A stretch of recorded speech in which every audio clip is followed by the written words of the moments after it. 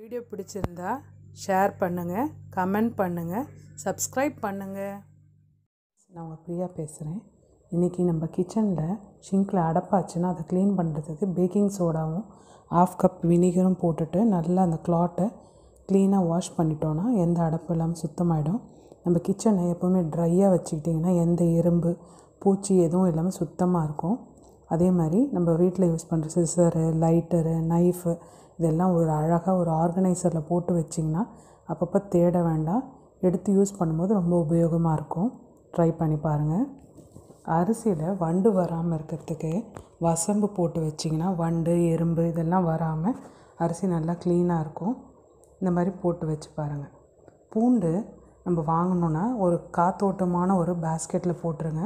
அதில் பல்லெல்லாம் ஒரு பக்கமும் முழு பூண்டு ஒரு பக்கமும் போட்டு வைங்க. கீழே ஒரு கவர் போட்டு வச்சிங்கன்னா பூண்டில் ஈரம் இருந்தாலும் நல்லா காஞ்சிரும். நம்ம சமைக்கும் போது எடுத்து யூஸ் பண்ணுறதுக்கு ரொம்ப ஈஸியாக இருக்கும். சின்ன சின்னதாக இருக்கிறத நம்ம பூண்டை தட்டிக்கலாம். பெருசாக இருக்கிறத காரக்குழம்பு அந்த மாதிரி வைக்கும் போது யூஸ் பண்ணிக்கலாம். காஞ்ச பூண்டு இருந்தாலும் அதை நம்ம எதனா சமைக்கும் போது யூஸ் பண்ணுறதுக்கு எடுக்கிறதுக்கு ஈஸியாக இருக்கும்.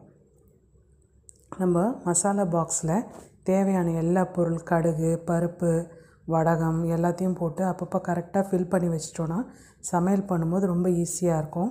காஞ்ச மிளகாவை எப்போவுமே அதில் வரமிளகா போட்டு வச்சிங்கன்னா காம்பெல்லாம் மொத்தமாக சேர்த்துட்டு அதில் விதை இருந்ததுன்னா அதை எடுத்துகிட்டு போய் கீழே மண்ணில் போட்டிங்கன்னா அதுலேருந்து திருப்பி நமக்கு மிளகா கிடைக்கும். நம்ம யூஸ் பண்ணிக்கலாம். இதுவும் ரொம்ப உபயோகமாக இருக்கும். நம்ம நார்மலாக டீ போடுறோம்ல அந்த டீ டீயில் ஒரு மூணு நாலு ஏலக்காவை தட்டி அந்த பாட்டிலில் போட்டு வச்சிங்கன்னா டீ போடும்போது இன்னும் மசாலா வாசனையாக சூப்பராக இருக்கும் ட்ரை பண்ணி பாருங்கள் ரொம்ப யூஸ்ஃபுல்லாக இருக்கும். நம்ம கடையில் வாங்குகிற ரவையை வாங்கிட்டு அப்படியே பாட்டிலில் போடாமல் ஒரு ட்ரை ரோஸ்ட் கடாயில் போட்டு நல்லா வறுத்துட்டிங்கன்னா ஈரம் இருக்காது சிட்டம் கட்டாது வண்டு இதெல்லாம் வரவே வராது. ஈஸியாக இருக்கும். நம்ம எப்போ எடுத்து என்னாலும் ஈஸியாக யூஸ் பண்ணிக்கலாம். நல்லா வறுத்துட்டு ஆற வச்சுட்டு பாட்டிலில் போட்டு வைங்க.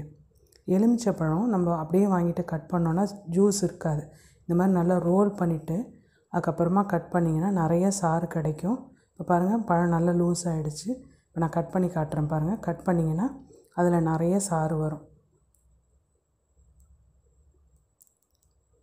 இப்போ இந்த கட் பண்ண எலுமிச்சை பழத்தை ஃப்ரிட்ஜில் வச்சுட்டிங்கன்னா எந்த பேட் ஸ்மெல் இல்லாமல் க்ளீனாக வச்சுக்கும் அதே மாதிரி பேக்கிங் சோடாவும் ஒரு கறி துண்டும் போட்டு ஃப்ரிட்ஜில் ஒரு கார்னரில் வச்சிங்கன்னா ஃப்ரிட்ஜில் எந்த வாசனை இருந்தாலும் அது எல்லாத்தையும் அதை அப்சர்வ் பண்ணி க்ளீனாக ஆக்கிடும்.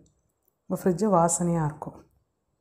நம்ம ஏலக்காய் அப்புறம் திராட்சை முந்திரி இதெல்லாம் வாங்கினோன்னா அதை நல்லா இந்த மாதிரி மடித்து ஒரு பாக்ஸில் ஓப்பனாக இல்லாமல் ஏர்டைட் பாக்ஸில் போட்டு டைட்டாக மூடி வச்சிட்டோன்னா நம்ம ஸ்வீட்டோ பாயாசமோ எப்போ பண்ணாலும் அதை எடுத்து யூஸ் பண்ணிக்கலாம். அதை வெளியே வைக்காமல் ஃப்ரிட்ஜில் இந்த மாதிரி வச்சிட்டிங்கன்னா ஃப்ரெஷ்ஷாக இருக்கும். பேக்கெட் வாங்கினா கூட ஃப்ரிட்ஜுக்குள்ளேயே வைங்க நல்ல கிறிஸ்பியாக இருக்கும். நம்ம வீட்டில் யூஸ் பண்ணுற சிசர் நைஃப் இதெல்லாம் மொக்கையாயிடுச்சுன்னா என்ன பண்ணுறது அப்படின்னு பார்த்தீங்கன்னா இந்த மாதிரி ஒரு செராமிக் கப் எடுத்துக்கோங்க. நம்ம வீட்டில் யூஸ் பண்ணுற மெட்டல் ஸ்க்ரப்பர் எடுத்து சாமான் தைக்கிறோம்ல அந்த நார். அதை எடுத்து ஒரு நாலஞ்சு வாட்டி நல்லா கட் பண்ணுங்கள் ஒன்றாகாது அதுக்கப்புறமா அந்த கத்தி எடுத்துகிட்டு செராமிக் கப்பிங்க அங்கே கப் அந்த கப்பில் பின் பக்கமாக நல்லா தேய்க்கணும். தேய்க்கும் போது கொஞ்சம் ஜாக்கிரதையாக தேய்ங்க. கையில் பட்டுற போது ஸோ பார்த்து தேய்ங்க. பசங்க இருந்தாங்கன்னா கொஞ்சம் தள்ளி இருந்து வேலை செய்யுங்க.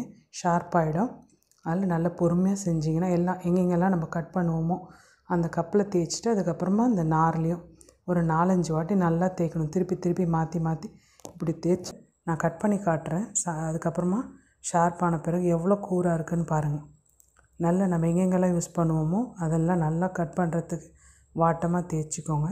இது ரொம்ப ஈஸியாக இருக்கும். நம்ம கத்தி வந்து முதல்ல தக்காளி கூட வெட்டவே இல்லை. இப்போ எவ்வளோ ஷார்ப்பாகிடுச்சுன்னு நான் கட் பண்ணி காட்டுறேன் பாருங்கள் அதே மாதிரி கத்திரிக்கோள். பால் பேப்பர் கூட கட் பண்ணல. அது பால் பேக்கெட் கூட கட் பண்ணல.